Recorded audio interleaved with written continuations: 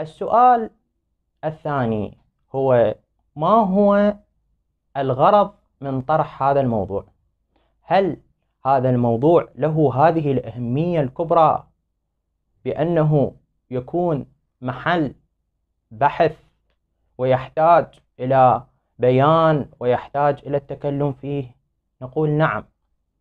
بسبب هذا أي العرفان انخدع كثير للأسف من شباب الشيعة المغرر بهم من البسطاء الذين لهم نية صافية انخدعوا بالعرفاء أو بين قوسين العرفان المصطلح عليه طبعا. فلذلك من الواجب علينا من باب الحديث الشريف إذا ظهرت البدع فعلى العالم أن يظهر علمه وإلا فعليه لعنة الله. العالم ها هنا ليس المقصود بعلماء الدين فقط. كل عالم بأي شبهة بأي بدعة عليه أن يظهر علمه. والآن في هذه المقدمة لسنا بصدد الحكم على العرفان. هل هو من البدع أم ليس كذلك؟ بل يأتي ذلك في النتيجة.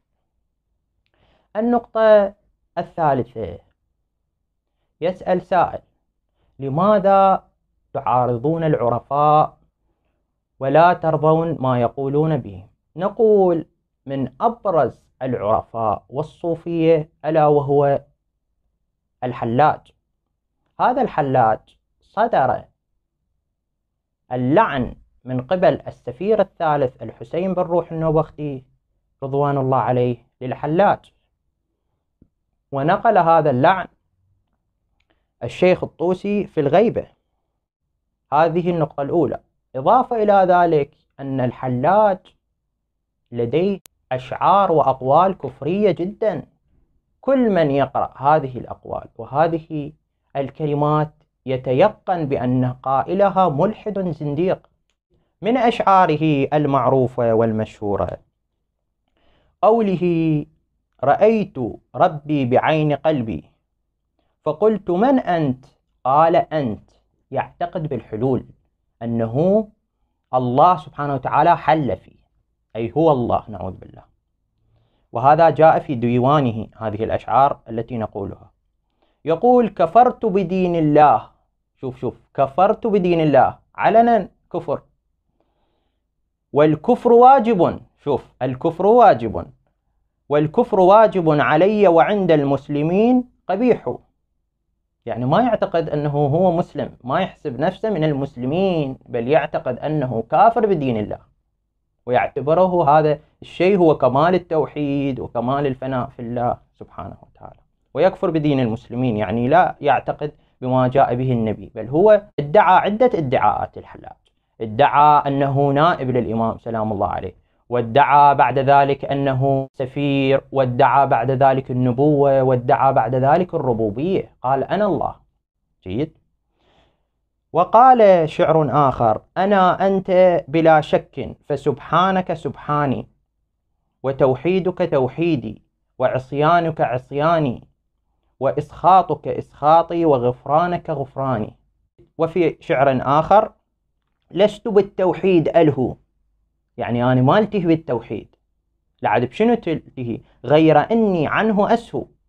أنا لا ألتهي بالتوحيد بل أسهو عن التوحيد. لماذا؟ كيف أسهو؟ كيف ألهو؟ وصحيح أنني هو. يعني هو الله يقول أنا شنو شغلي بالتوحيد؟ ما لي علاقة بالتوحيد لأنه أنا الله. بعد شو أسوي بالتوحيد؟ حتى أحتاجه. وله أشعار أخرى في ديوانه وفي كتبه الآن الموجودة. وله أمور كثيرة مما يعف اللسان عن ذكرها. إضافة إلى ذلك من أشهر العرفاء هو محي الدين ابن عربي بين قوسين مميت الدين. هذا يعتبرونه مؤسس العرفان النظري ومنظر العرفان النظري وجميع العرفاء الذين جاءوا بعده هم يعتبرون عيال عليه كما يعبرون هم ذلك. هذا محي الدين بن عربي. أيضا خلنا نتوقف عند أشعاره الكفرية التي لا يقول بهذا الكلام إلا زنديق بل وملحد يقول ليس في الجبة شيء غير ما قاله الحلاج يوما فانعموا. هذا قاله في الحقائق الإلهية في أشعار الفتوحات المكية. وإضافة إلى ذلك قال فلا تفر ولا تركن إلى طلب. فكل شيء تراه ذلك الله. كل شيء تشوفه هو الله. وحدة الوجود والموجود. قال ذلك في منزل الأملاك في حركات الأفلاك. ابن عربي كثير انخدعوا وظلوا به وبكفرياته وضلاله بل وحتى يعدهم البعض من, أنهم رموز للتشيع من المعاصرين ننقل أقوال مراجعنا في النجف الأشراف وفي قم المقدسة فيما جاء في ابن عربي خصوصا حتى نعلم أن من يتولى ويحب ابن عربي وينظر لابن عربي ويشرح كتب ابن عربي هو يتبع من؟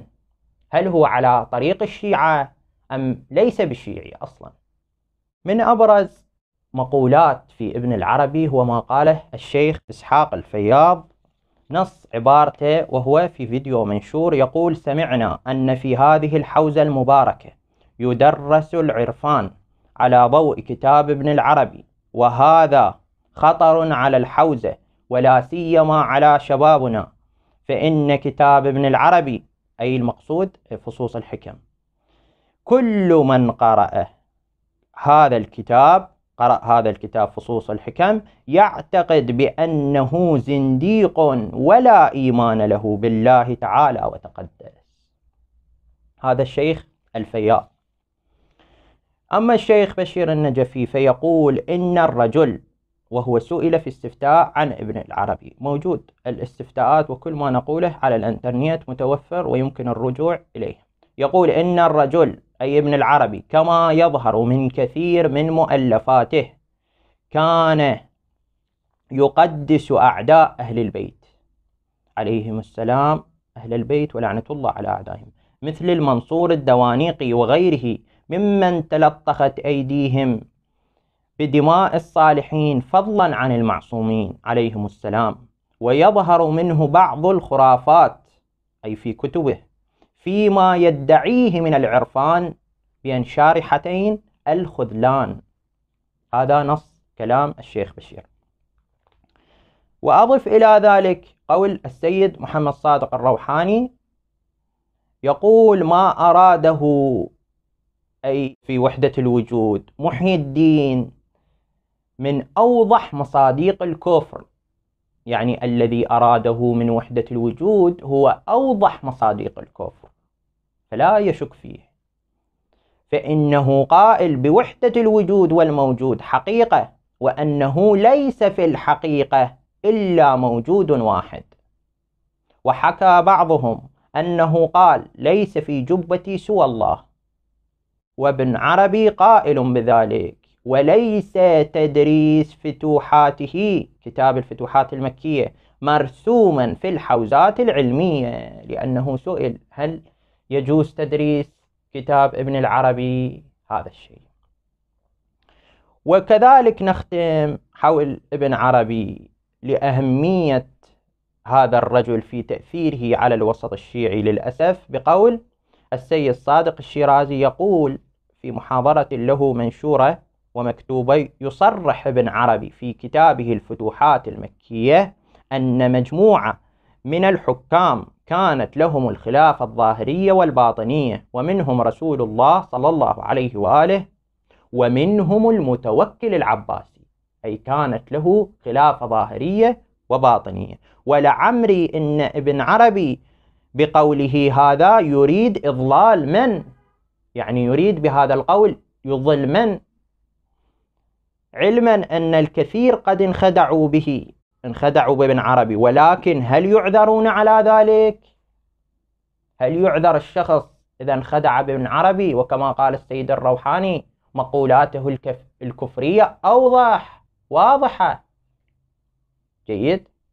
هذا في جنبة هؤلاء العرفاء. فتبين لكم من خلال فقط شخصين وعلمين من أعلامهما أنه هذا الكفر ولماذا هذا المخالفة بيننا وبينهم؟